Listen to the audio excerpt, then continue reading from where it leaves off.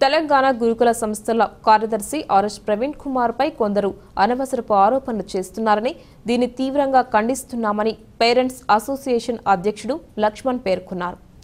Social media ద్వారా morphing చేసిన వీడియోలను ఆర్ఎస్ ప్రవీణ్ కుమార్కు సంబంధం లేదని విషయాన్ని అంటగట్టి తన కొరకు ఆరోపణలు చేస్తున్నారని దీన్ని తీవ్రంగా ఖండిస్తున్నానని పేర్కొంటూ ఇలాంటి తప్పుడు ఆరోపణలు చేస్తే చూస్తూ ఊరుకోమని హెచ్చరించారు. ఈ కార్యక్రమంలో రాజయ్య ప్రభాకర్ శంకర్ అక్కలపల్లి లింగయ్య కోరే రమేష్ తదితరులు పాల్గొన్నారు.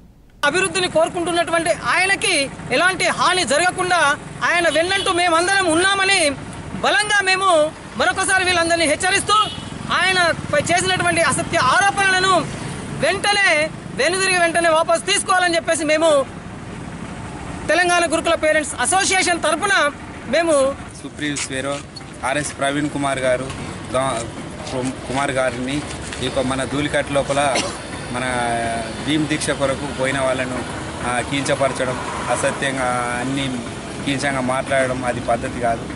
ప్రవీణ్ కుమార్ సార్ గారు పేద పిల్లలకు సేవ చేయడానికి హాస్టళ్ళు నిర్మించి ఇవన్నిటికీ ఎడ్యుకేషన్ పరంగా ఎంతో సేవ చేసింది కాబట్టి ఇట్లాంటి మాట్లాడడం నిందించడం ఇది ఒక పార్టీ కాదు కదా. ప్రతిపక్ష పార్టీ వాళ్ళు ఇది విమర్శించడం చాలా పద్ధతి కాదు. దీన్ని ఖండిస్తున్నాను.